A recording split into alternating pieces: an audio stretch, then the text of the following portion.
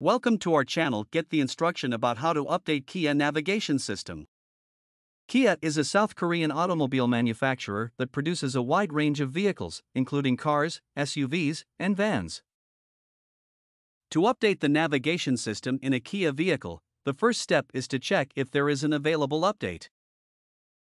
To update the map on your Kia vehicle, you will need to follow these steps.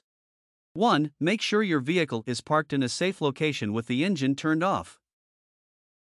2. Insert the USB drive containing the map update into the USB port in your vehicle.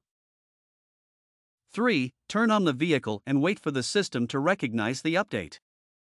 4. Follow the on screen instructions to begin the update process. This may take several minutes to complete. 5. Once the update is finished, remove the USB drive and turn off the vehicle. 6. Restart the vehicle and verify the new map version. Note The instructions may vary depending on the specific model and year of your Kia vehicle. It's always recommended to check the owner's manual or visit the Kia website for more detailed instructions. Thank you. Hope you like the video. Still, you are having problems while updating Kia navigation maps. Reach out to us, our support team will assist you. Link is in the description box below.